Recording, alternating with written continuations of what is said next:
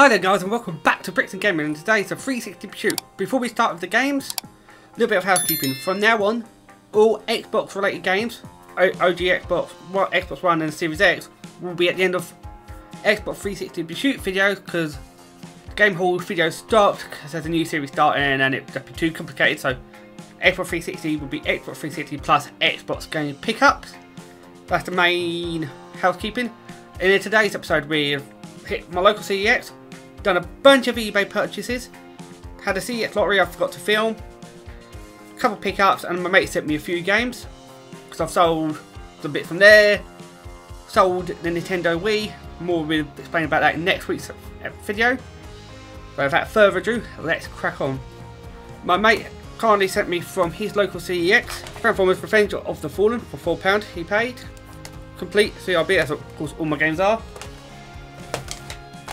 Then we've got The Elder Scrolls 4, Shivering Isles, the expansion pack to Oblivion, £2.50. So from my local cash exchange, I picked up one upgrade and one new game. Upgrade is the Call of Duty 4 Modern Warfare Game of the Year edition. Much better artwork.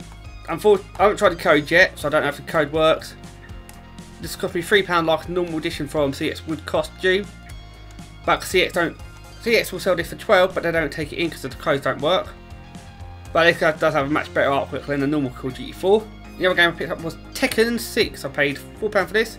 Unfortunately I took the stick off the back because this had been a case for replaced because the original case was damaged but I'll keep a stack of new cases if I need to replace cases. So that's Tekken 6. And here's my little eBay haul. So this all this money from this has been selling my Wii's collection because I don't tried the Wii and it wasn't for me. And a bunch of training cards. So first one we got is Adventure Time, Jake and Finn's Investigation. I paid £5.90 in total for this. We'll check the listing up here. Adventure Time, explore the dungeon because I don't know. And this cost me £6.77 total with postage. So that's good, that's two out of three Adventure Times. And to complete the Adventure Times, we have got Adventure Time, the Secret of the Nameless Kingdom, which was £6.95 delivered. Then we've got Afro Samurai, which cost me £15 delivered. Very cool artwork. Look forward to trying that out. Any of these games before, let me know in the comments if they're good, if I should have moved them higher up my backlog. Then we've got Apache Air Assault, which was £5.52. Then we've got Alone in the Dark, which cost me £2.72. That got shipped with Apache, it was part of the same bundle. So I saved from postage. Anarchy Reigns limited edition cover. This was a total of £5.99. Looks like another one-on-one beat 'em up.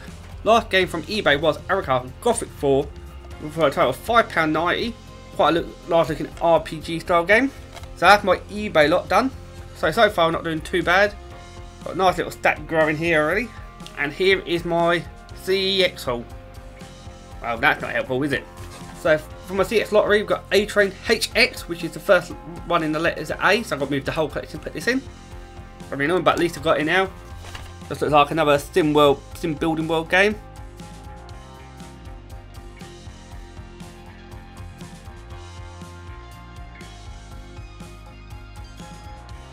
Then we've got Banjo Kazooie Nuts and Bolts. Paid £6 for this. Used a voucher for this one. Most of this has been paid by vouchers or private sales. SSX 2012 for £3.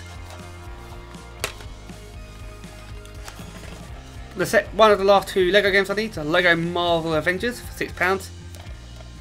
Very similar cover to Marvel Superheroes. Kept picking up the wrong one. But now I've got both Marvel games. I'm missing, missing now for the Legos Lego Star Wars 2. An upgrade, which is the LA Noire, LA Noire The Complete Edition. The full disc set with the DLC to replace my normal LA Noire. Got nice cool box art. Sticker has been peeled off carefully from down here. Just take it there so you can see I paid £8 for that one. And the last game from CEX for today is WWE 2K14 for £3. With The Rock or the alternative cover of someone. Let me know in the comments which wrestler that is because I've got no idea. Don't really follow wrestling so I only know the big ones. So that's the 360 pickups, we've added 16 brand new games and 2 upgrades. Upgrade the old versions upgrades get traded into CEX for a bit credit. Call of Duty What 4 gets me a penny, and LA Noire gets me around a pound or so, I believe.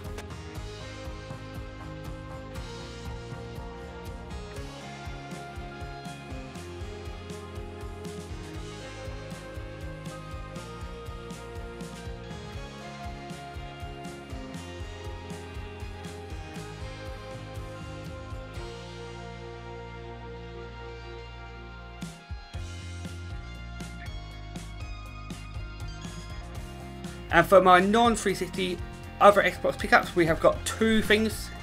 I've re-added into my collection an OG Xbox, which does not fit into my Kallax unit, so it sits on top of the Kallax unit, which is annoying, but it's just slightly too big.